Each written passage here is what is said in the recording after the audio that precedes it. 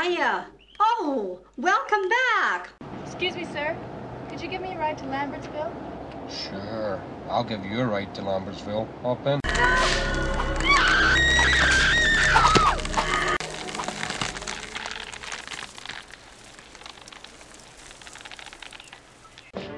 Yeah.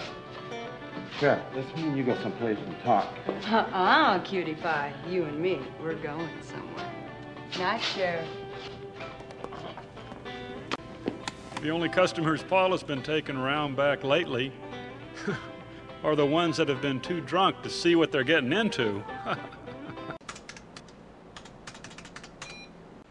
Frankly, Josie, I think you two kids went up into the woods, snorted something that you brought back from the big city.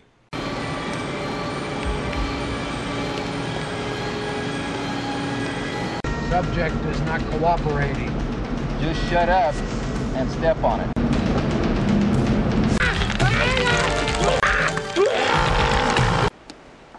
Or uh, maybe it moseyed down to the soda shop for a spot of Coke. Eh, kids? Ah, you kids. You get my goat.